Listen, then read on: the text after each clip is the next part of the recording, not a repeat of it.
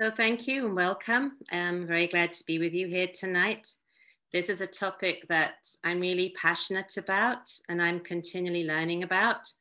And actually, every time I do this presentation, something else gets added because I'm learning something new. And I, I want to learn from you too, because I know you are all inspiring families as well. So at the end, I hope we can talk about that. So I want to talk about inspired families and nurturing children's spirituality. And because I think it's something we don't talk about very much, or if we do, we tend to think about just having family worship, and there's so much more to it than that. So, at the beginning, I just want you to think for yourself um, when you're sharing your faith with a child, what do you most want them to know about God and His love? And if we were here together in a room having a seminar, then I would share these verses into small groups and say, what from this verse, from this passage, would you most want to share with your children to help them understand God's love? And we'd look at those passages and think about more because the more we think about God and who He is and what we want to share with our children intentionally, then that really helps us to focus on what we want to um, inspire our children with. So, this text also inspires me. We love because God loves us. And the start of all our inspiration for inspiring our families and sharing God's love with them is um, that God loves us first. You know, Jesus said, um, Love God and love others. And before that, we have to know that God loves us. And I think this is the starting place for every parent, every family to come and just be filled up completely with God's love for us. We need to know his unconditional love for us. And we might need to do some work on that if we don't fully feel that. Um, because we want to pass on this incredible love to our children. But we can only pass that on when we have experienced it from God Himself. So, what would you most like your child to know and experience about God's love? And I just wrote down a few things that I wanted my children to experience. And this isn't um, limited to what I've written here.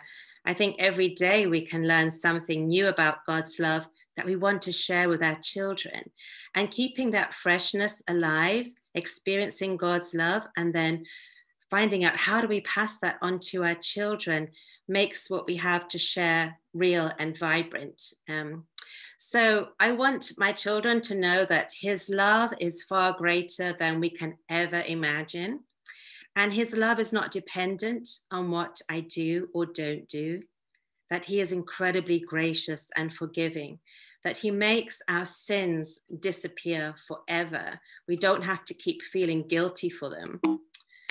I also want them to understand that He is kind towards us. His loving kindness in His thoughts towards us is really important. He cares about everything we are experiencing. He notices every tear we cry and wants to comfort us. He's very close to us. He loves us so much, He's making a place in heaven for us. And He wants us to follow His way because He knows that's where we'll be safest and where we'll find most joy and, and love. So, um, what I most want my child to experience are all these things about God's love and who He is as part of our inspired family. And it starts with us. You know, something uh, about being a parent myself taught me so much more about God's love for me. And we need to reflect on that as we are parents.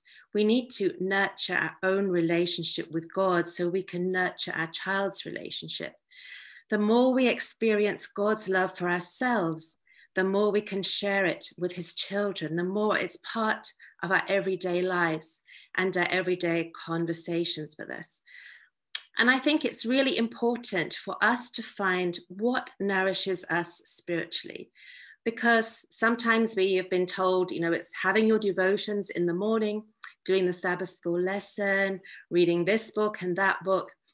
And, and sometimes that doesn't work for us, and we can feel um, guilty or frustrated or not doing enough if we don't follow the pattern that we feel is being presented to us. And actually, we are all different. We, we tick in different ways, and different things inspire us. And it's important to explore and find what um, kind of devotional life and spiritual nurture do you need? What works best for you, so that you um, you want to be um, doing that activity. You want to be learning about God every day in whichever way is best for your learning style, your personality, your life.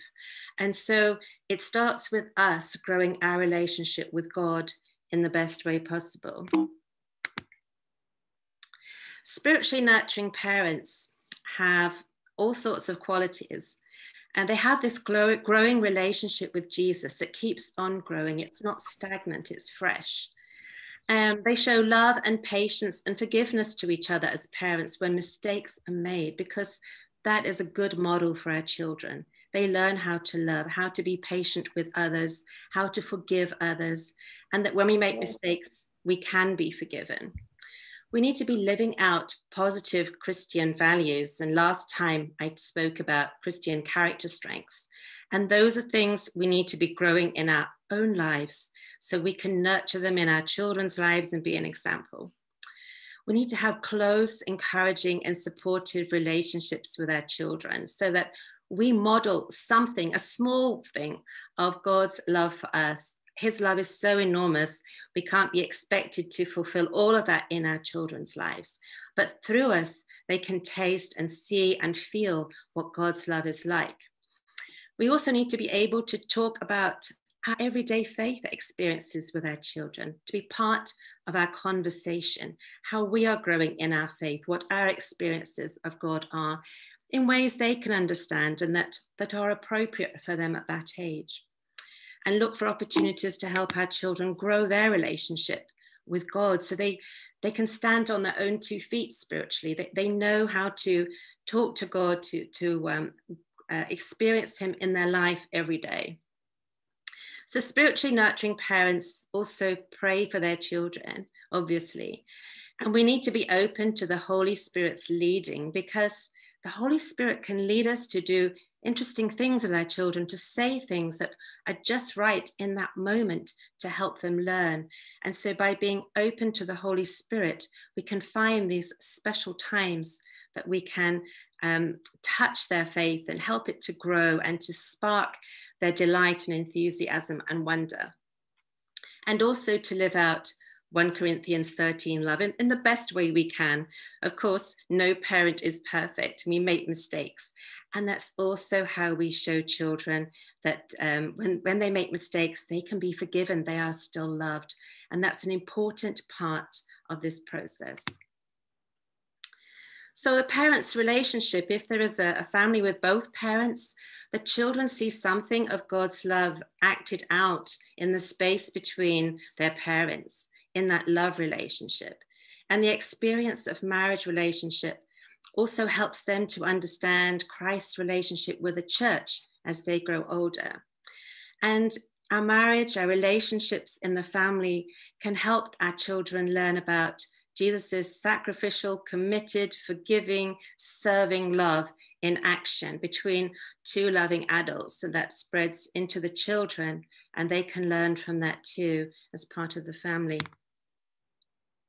So, what do children need when we're nurturing their spirituality? Um, they need to know how much God loves them. For me, that is the very first thing that they need to feel loved by God so they fall in love with Him.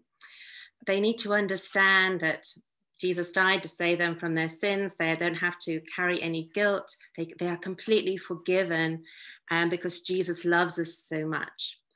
To learn how to serve others kindly and generously, as Jesus did. To be encouraged to develop their character strengths.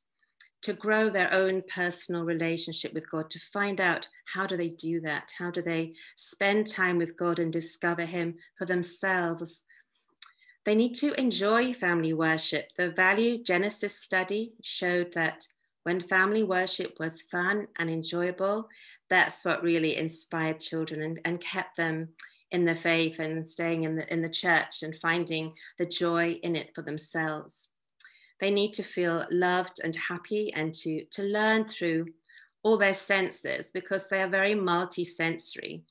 They need to learn about spirituality through the way they move their bodies and, and learn and through actions. So they participate in the spiritual experience.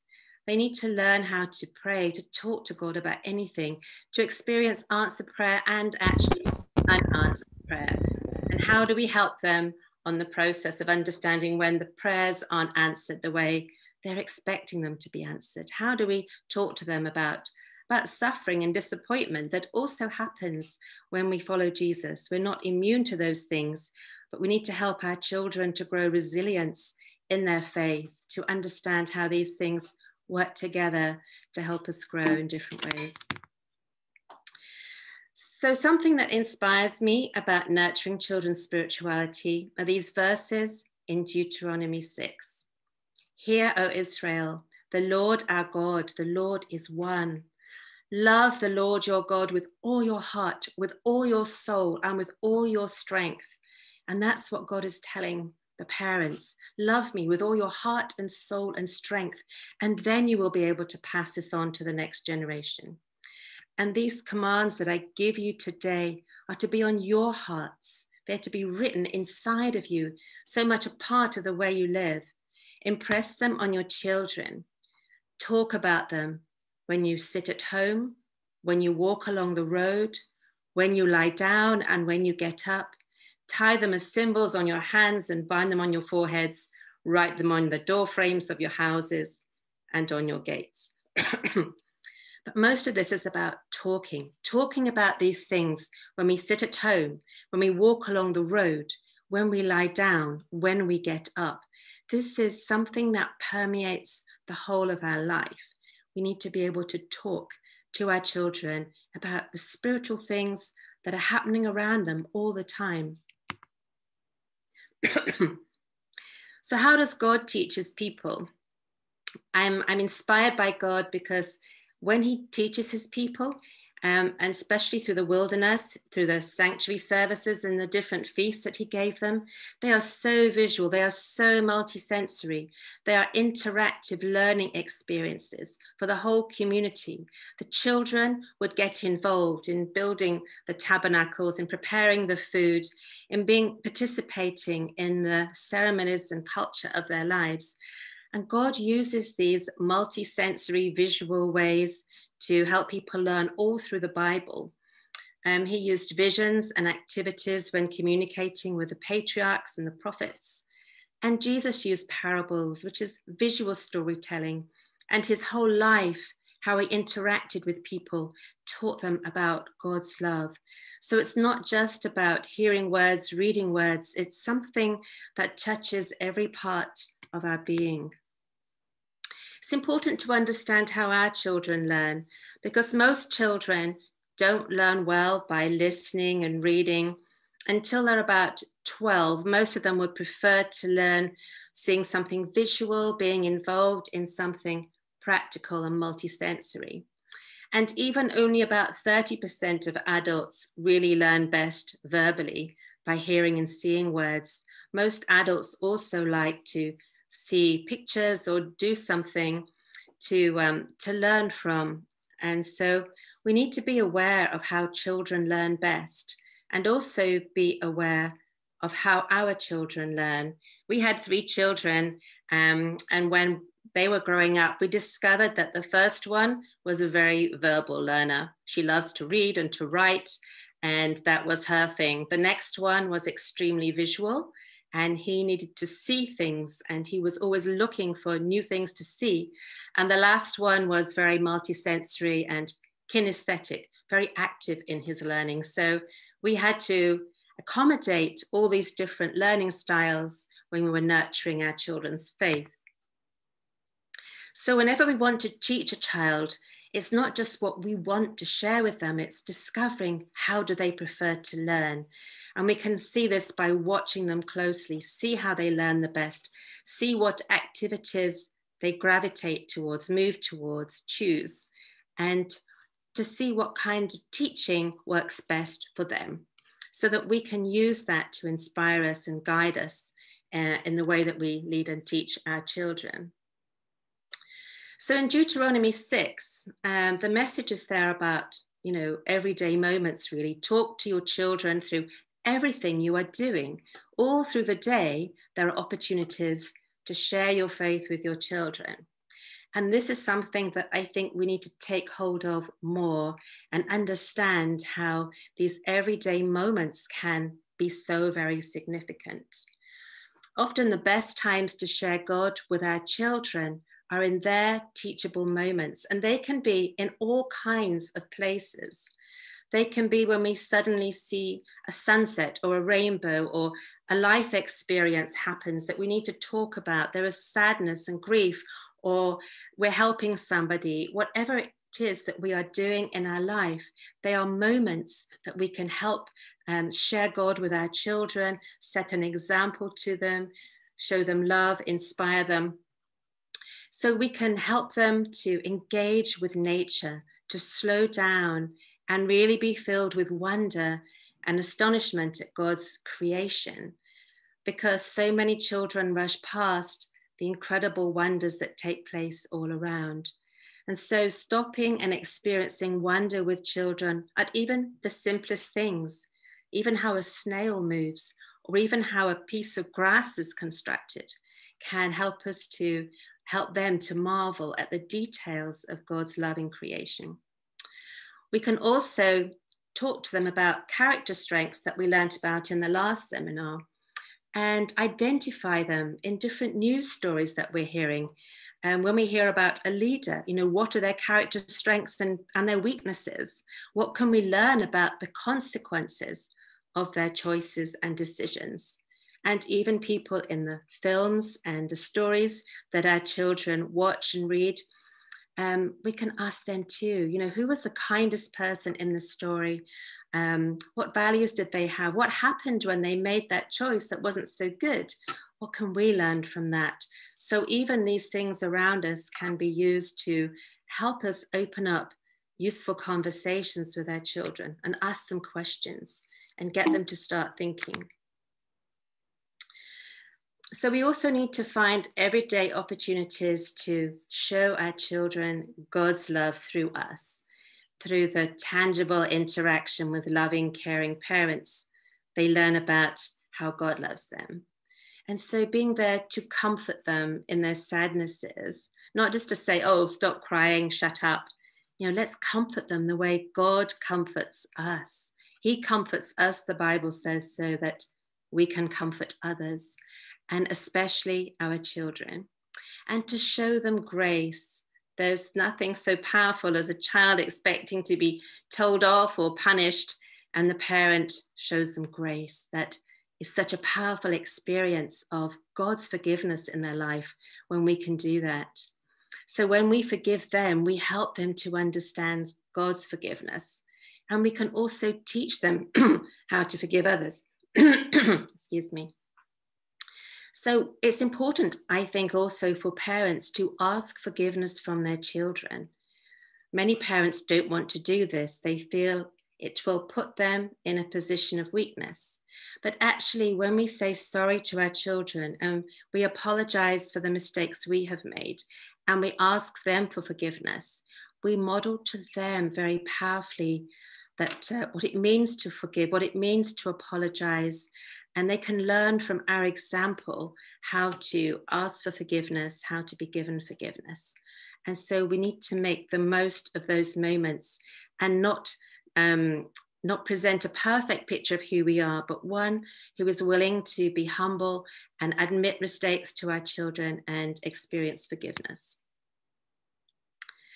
Another important aspect of nurturing our children's spirituality is talking to children about our own faith journey, the crisis we've had, maybe with teenagers and older young people, the crises, the questions, the challenges we had, how we worked through them, um, how our character has changed over the years, answered prayers and unanswered prayers when appropriate.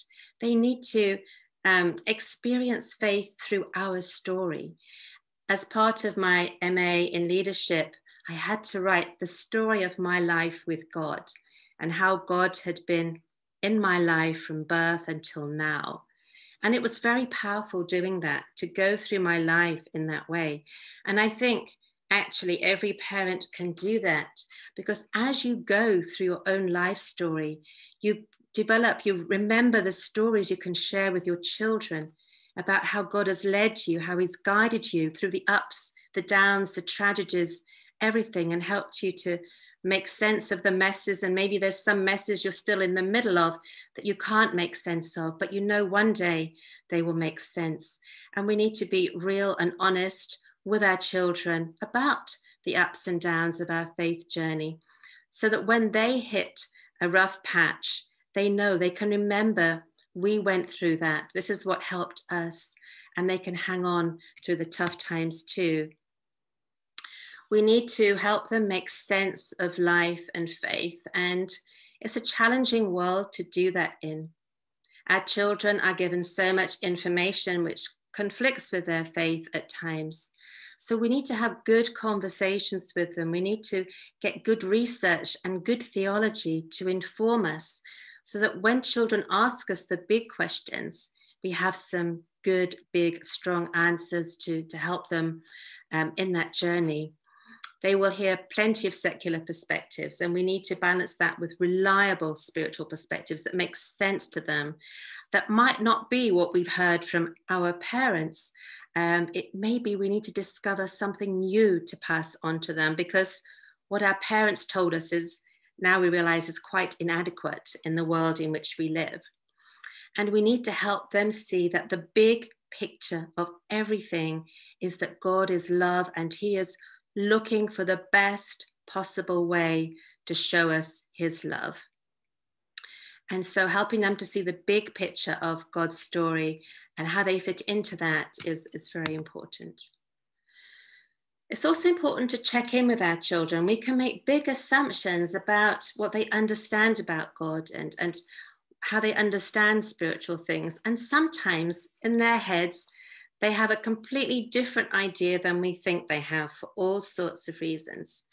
So it's important to talk to our children and get them to tell us what they are seeing about God, what they are learning, how they understand things in their way, and that will help us to notice if they're a bit off here and there, a bit unbalanced. So we can gently help them to explore it and find a more balanced picture of God.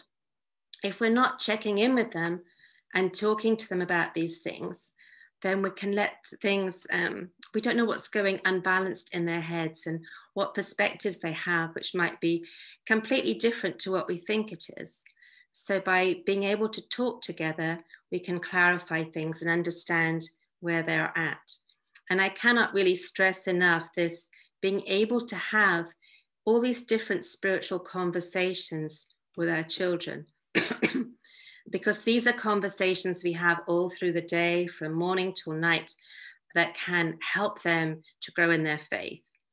And we do have family worship as well. That can that can happen for sure. It's important, and I'll talk about that in a while but it needs to happen in the context of this all through our life, um, all through our relationships kind of experience of God. Because then family worship is in a more meaningful context. Um, you can have family worship and completely put your children off God in the way that that's done. Um, but when we live our lives spiritually, transparently with our children, and they can see us growing and learning as they grow and learn, and, and we can talk together about spiritual things, then something richer happens and we can help them explore God in more ways than the, you know, the, the Bible stories that they're experiencing in their Sabbath school or whatever. So we also need to make opportunities for our children to have their own relationship with God, to talk to God about the everyday things around them to help them know they can talk to him at any time about anything.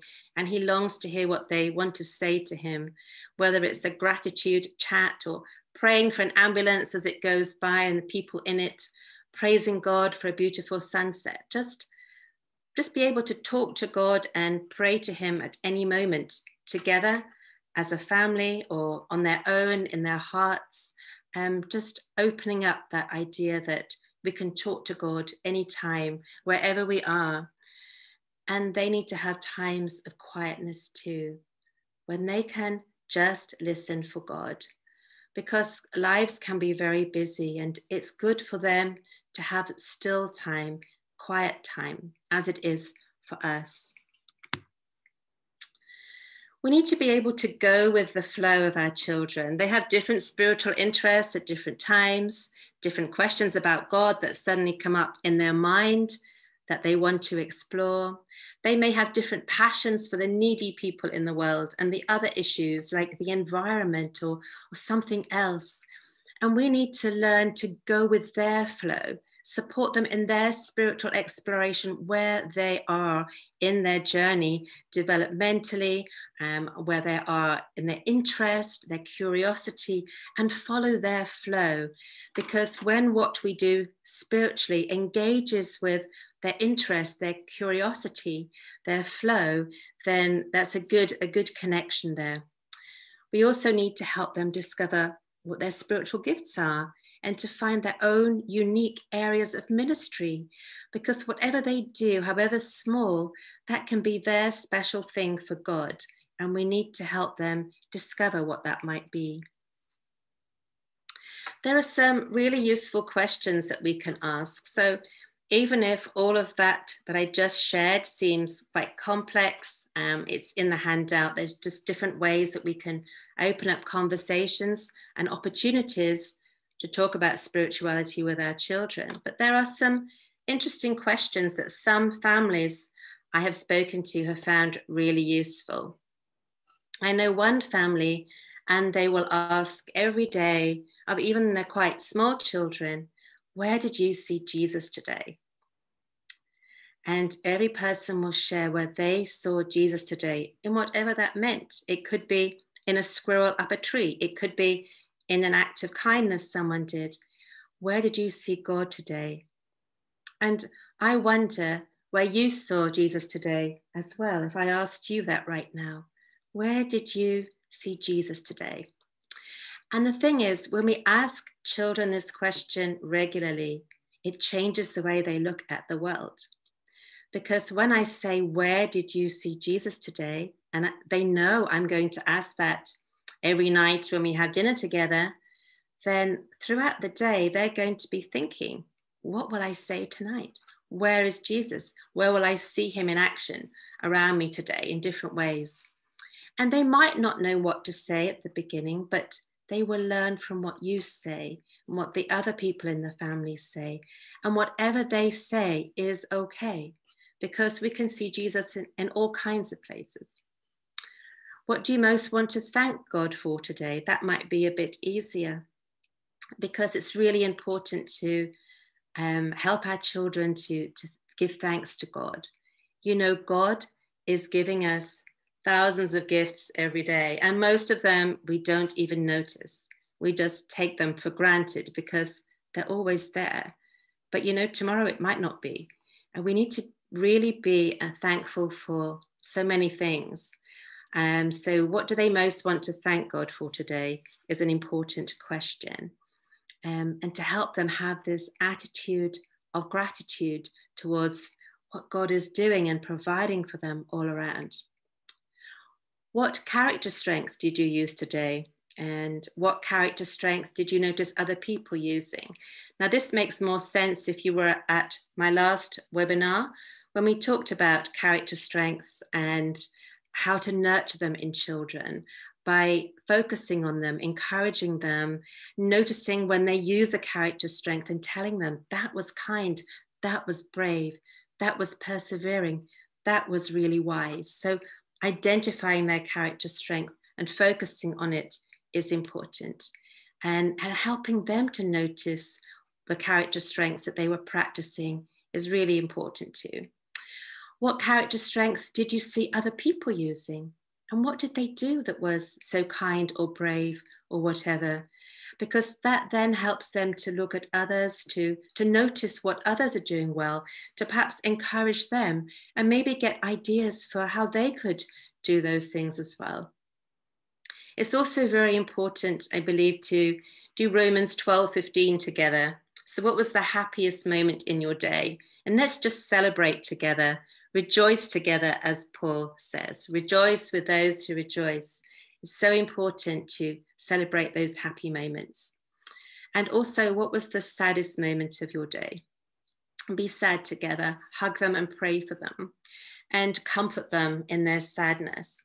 It's quite important, I think, for children's well being to be able to express their happiest and saddest or most challenging moment of the day, um, because it helps you to hear their sadness and comfort them.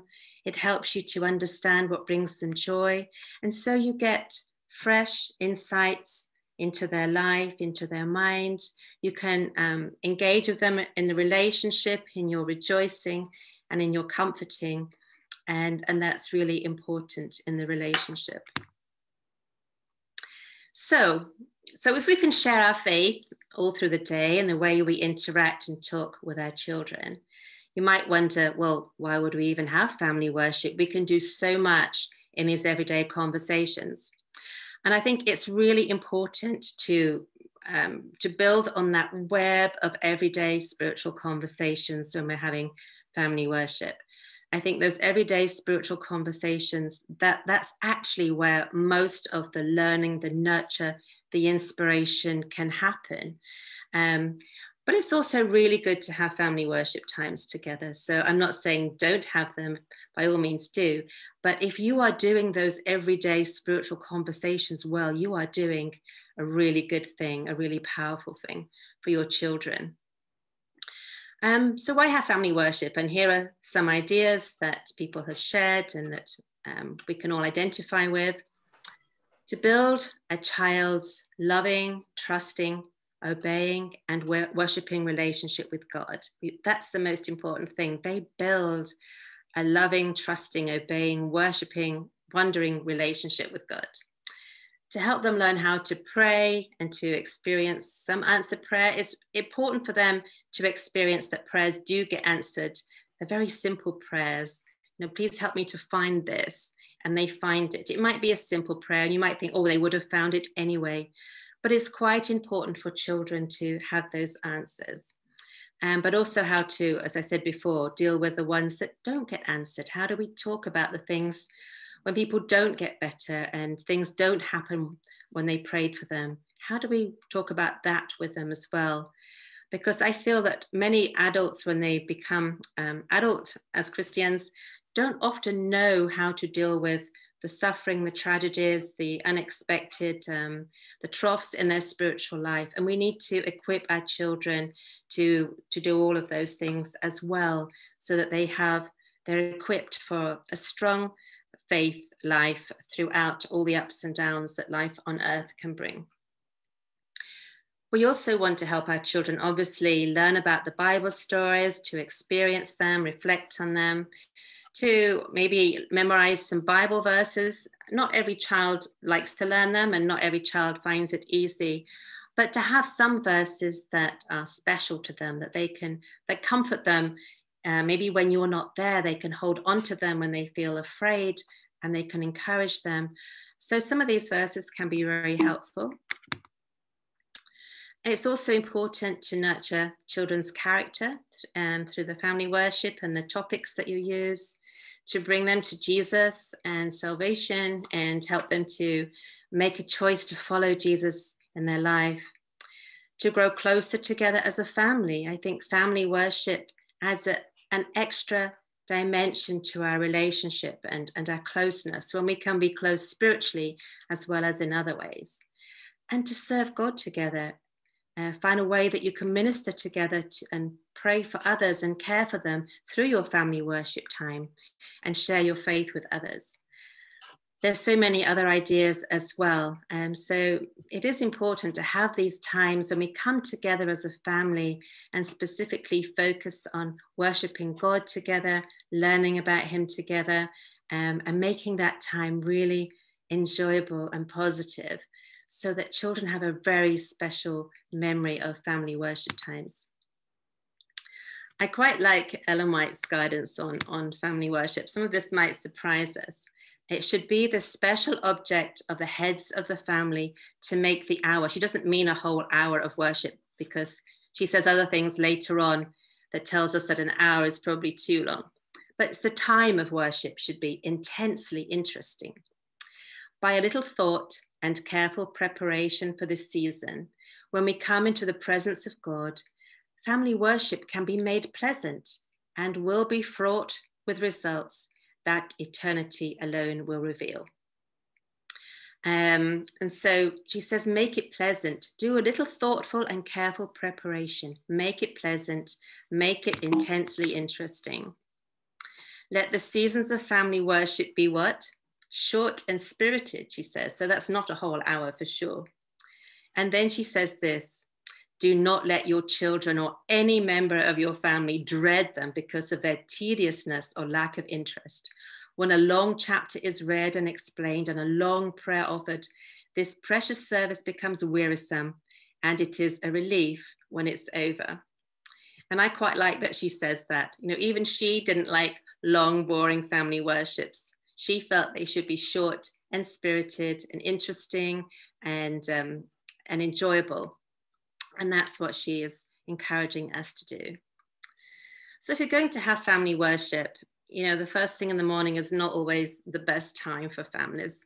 Um, so choose a time that works best for you. It might be snuggled in bed together in the morning. Maybe that does work. It might be around the breakfast table.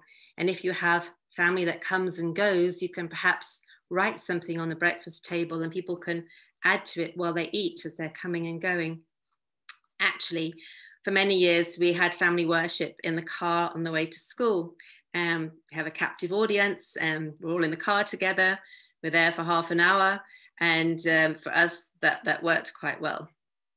After the evening meal, at bedtime, all through the day. So don't feel it's got to be at some particular set time. It needs to be what works for you, and it can be different all the time.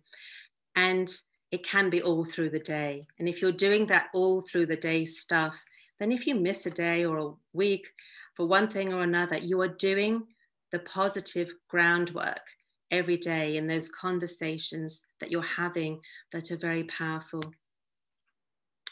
So often the best worships take some thought and preparation, as even Ellen White said. With a little preparation, you can make this good. And I think that that's something that we did, that we tried to plan more interesting and special family worships for the Sabbath time. So Friday night and, and Sabbath evening, we would do something that was more interactive um, at home, do something creative. And it's important to make this time of faith fun and attractive, as the ValueGenesis has taught us. And, and there's plenty of resources today. There's so much on the internet um, of creative worships if you go to the TED website and go to family ministries, there's a section on there for family spirituality. And there are downloadable placemats with um, interactive questions and activities you can do around the table. So that if you, you will eat together, then you can use this um, placemat to inspire your conversations around the table together.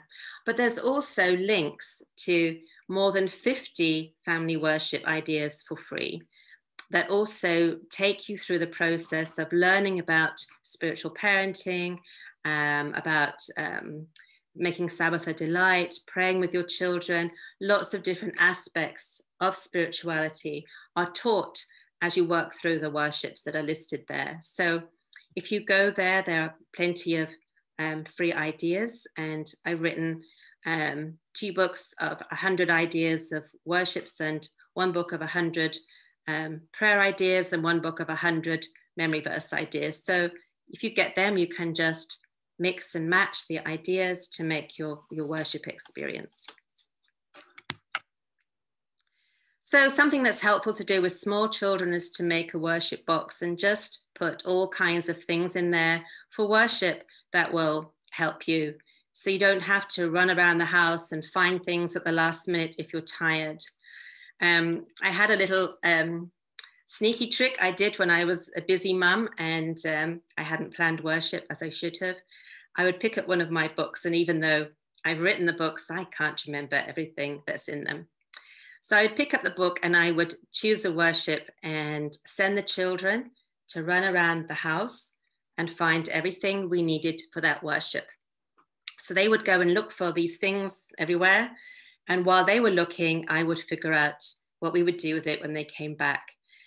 So if I hadn't planned anything, that always got me um, out of a sticky situation because by the time they came back, we were then ready to have worship together. But it's good to be more planning than that, just in case there's something you need to, to buy or to find that the children might not be able to find. So planning is, is really helpful. Um, so we can explore Bible stories together and use stories that your child will really enjoy. Find out what they like, what they're interested in. Wherever possible, use their interest to help you decide what you're going to um, talk about and explore together. And there's so many things you can do to make it interactive. Um, let them dress up, find objects that help tell the story, act out the stories, and try as much as possible to use all five senses while you're telling the story, or as many of them as possible. The importance of this is that whenever children actually move their bodies to experience a story or make the sound effects or um, taste something, see something, smell something, the more parts of their body that they use to experience the story, the more it will stay in their memory.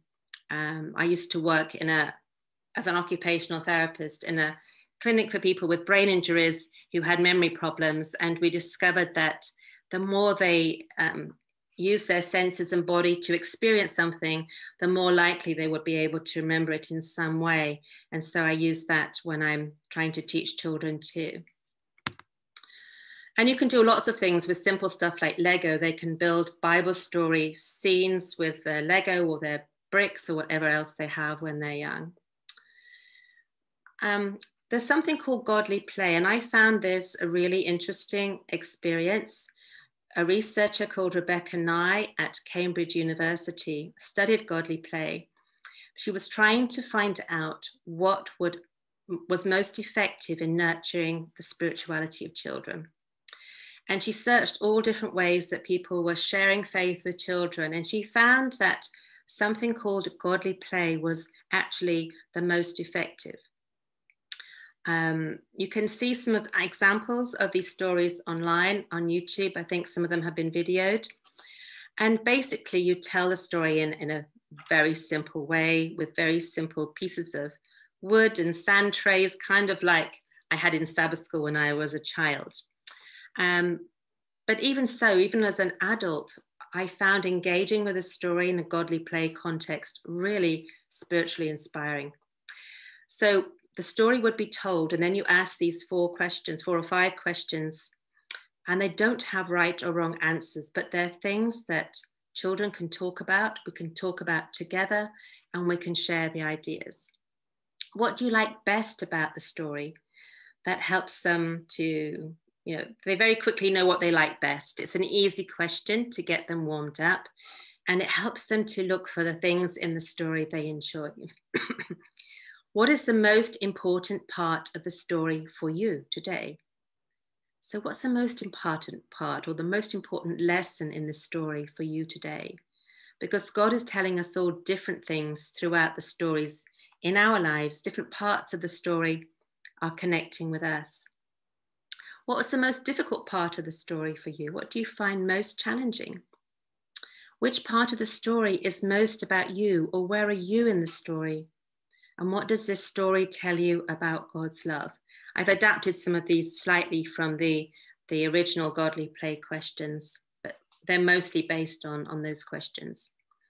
And these are just questions where children can wonder, explore, and they are questions that stimulate their spiritual thinking rather than just saying, you know, how many people were on the ark, and it's just factual and memory.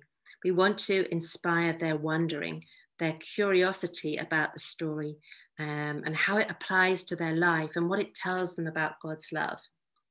And then after they've heard the story and they've talked about it, you lay out lots of different craft materials for the children or whoever is there. And you say, now make something to respond to the story. They can write something, they can create something. And that space is between them and God. You don't interfere with that as an adult. They make whatever they want. You don't even say, oh, that looks lovely. Oh, that's a, a because you could shape their response the next time they might want to please you rather than to do what is in that space between them and God. So they make whatever they like and they can keep it in a special box to remind them of that story in the future. And that creative space, that making of something to respond to the story, is actually extremely powerful. And you can engage with that as an adult or a child in your own way. So, godly play can kind of encompass all sorts of ages because we engage with the story from where we're at and we can share it together. And generations together can share their ideas and help to nurture each other's spirituality. So we can have songs and music in worship. Sometimes that works for families. They're more musical than others. Sometimes um, it doesn't work so well. But sing a new song. Go and find some modern contemporary songs that really connect with your child's experience. I'm not quite sure how to relate to Jesus wants me for a sunbeam, for example, although I learnt that song as a child. Paul Field is a songwriter for Cliff Richard, and he's a Christian who writes some amazing songs for children that are really real, contemporary, fun. And there are other Christian uh, songwriters too. So look for things that are relevant to their life. And you can be more creative with older children. I've mostly focused on younger children in this presentation, but there's other ways that we can use music in worship too. And children can find it hard to pray. So it's helpful to give them some practical, concrete things to do to nurture their prayer and to focus their prayer because it's quite hard for them to pray to someone they have never seen. And so we used to use different ideas like these on the screen to help them um, to find a focus for their prayer. We often did an alphabet prayer of praise, going through the alphabet praising God for one of his characteristics or a name of God beginning with each letter of the alphabet, or thanking God for things beginning with these different letters.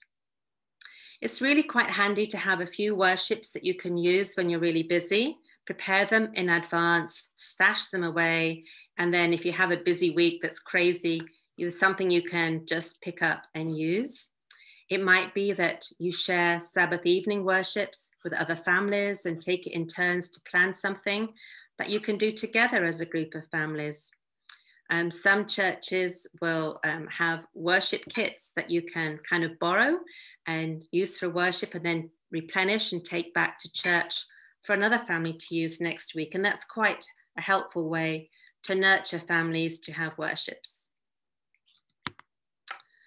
And you can also memorize Bible verses. The best way to learn a verse is to use something in the verse that um, as, a, as an idea for how you can learn it. So, for example, if there's a verse about how you walk along a way, um, make stepping stones out of cardboard or something with the words on them. So, if the way that you are learning it um, somehow fits with the words in the Bible verse, it becomes easier to memorize the, the verse that you're learning and make it really fun. So you can create your own worships. Think about the values you want to convey to your children through this Bible story. Think about how it will engage with them, how you will involve them and make it come alive, make it fun, involve their senses. And think about how will this story help them to grow closer to Jesus, to learn about him, to understand more about his love, to grow their relationship with him. And the big questions are Does this worship experience bring them closer to God? Or does this worship experience drive them further away from God? We need to notice this and, and to use this information to shape what we will do in the future. Because if it's pushing them away from God, then we need to be really careful and notice what we're doing and choose the things that excite them and bring them closer to God. So I shared all kinds of ideas in the last 45 minutes or so, and this is a huge area. Like there is so much to learn about this area, so much I am continually learning, um, so many new resources for parents in spiritual nurture. of children. And so there are there are things that we can turn to to use and inspire us. But I'm wondering for you, what new thoughts have you had as I've been speaking? What new ideas have you had about nurturing your family spirituality while I've been talking? And what will you put into practice in your own family? What three things will you take away and do in the next week or two that will make a difference and spiritually nurture your family? So may God bless you and your family as you grow closer to God and to each other. And um, I hope that there's something in what I have just presented that has inspired you, that will grow you so you can pass that on to your children and share your faith with them and inspire them for a relationship with God that will go on forever and ever. Thank you. Let's pray. Father God, we want to thank you that you love us so much, that you want to be known by us, that you know us, and you want to have an incredibly close relationship with us so we can experience your love, your grace, your generosity in our lives and relate to you and grow in love to those around us, serve people in the world with kindness. We want to nurture this kind of faith in our children and to help grow their character strengths as they mature in their faith. And I pray that you will inspire each one of us so that we can be the inspired people who inspire others especially the children in our lives. They may be children or grandchildren or school children that we are teaching, whoever they are. I pray that they will experience more of you through us. In Jesus' name, Amen. Amen. Thank you, Karen. So as we said at the beginning, not everybody was there at the start. We, um, the presentation is recorded and it will be um, given to those who would like to have it one more time to watch it or for those who couldn't participate tonight. So, but there may be some other questions at the end. Um, Karen said at the beginning, at the end, you would like to share some question or ideas. I already saw that in the chat, somebody had a question about spiritual gifts, how to discover them in our children. And Daniel Duda, welcome to our meeting tonight here um, he already gave an, an answer, gave an, a link to it. So thank you very much. And Rebecca already shared also the, the presentation that Karen was using. So maybe there are some questions, please um, either write it in the chat or now you have the possibility to just speak, unmute yourself, and then you can answer a question, uh, ask a question. We need to end the